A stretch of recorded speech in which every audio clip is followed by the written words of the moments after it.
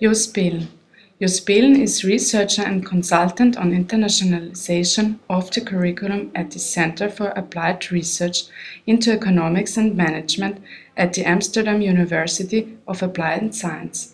He is chair of the Special Interest Group Internationalization at Home of the European Association for International Education and visiting fellow at Leeds Metropolitan University's Center for Academic Practice and Research in Internationalization.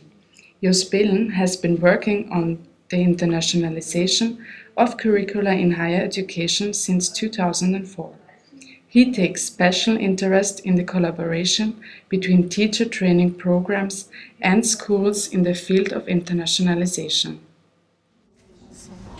Um, internationalization at home is an ambitious project because it depends on the goodwill um, um, and co collaboration between uh, universities and faculties.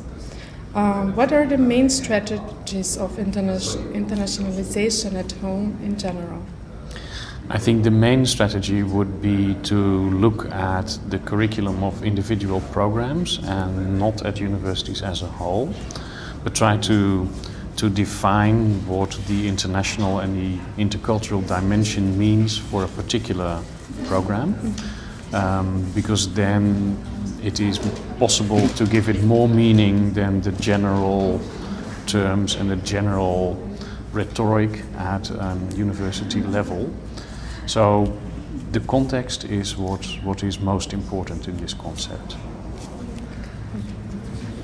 In your lecture, the limited interest of academic staff and faculties got the second place out of the top three internal obstacles of internalization at home. What are the benefits of internalization at home for lecturers and academic staff? And why do you think is there such a lack of interest?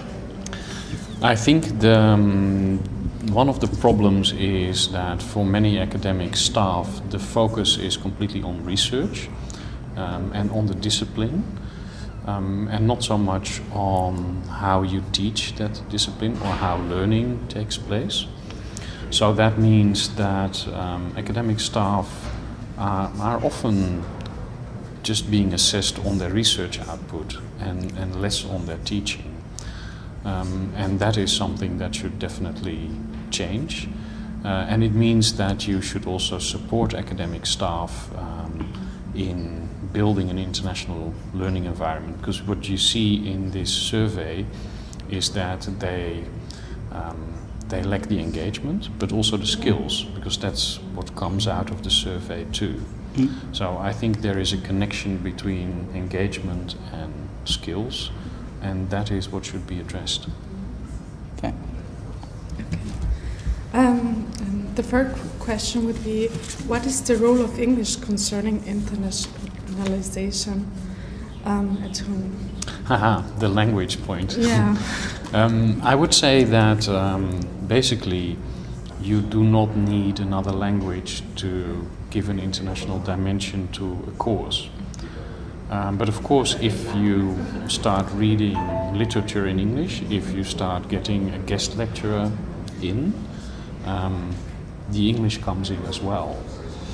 Um, but basically, you don't need English for the international dimension, and the fact that it is in English doesn't make it international. Um, and if it's international, it is not always in English. But there is, of course, um, a link. I mean, having a command of English opens up um, a much bigger world. Um, but then we should see English for what it is. It is a tool. Um, and speaking English and not doing anything with it um, is not worthwhile. So um, we should go beyond the English and look at the application of it. In the Friday lecture, you showed a conceptual framework of internalization of the curriculum. How would the ideal internalization at home curriculum look like from your point of view? I think the uh, ideal international dimension of the curriculum or internationalized curriculum uh, would be developed um, together with alumni and students uh, and for a particular discipline or program.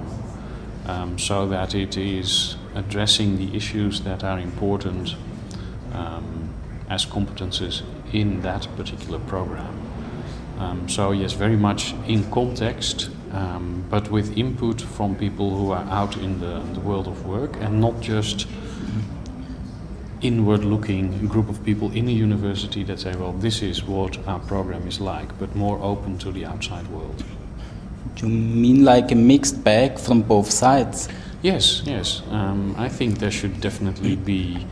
I mean, if, if you look at where, where graduates work, mm-hmm. it's only a min- small minority of them become researchers in university, and the big majority goes out into the world of work.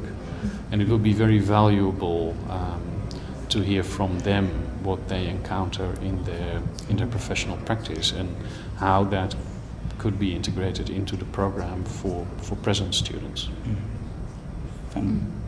Thank, you, Mr. Beelen. thank you.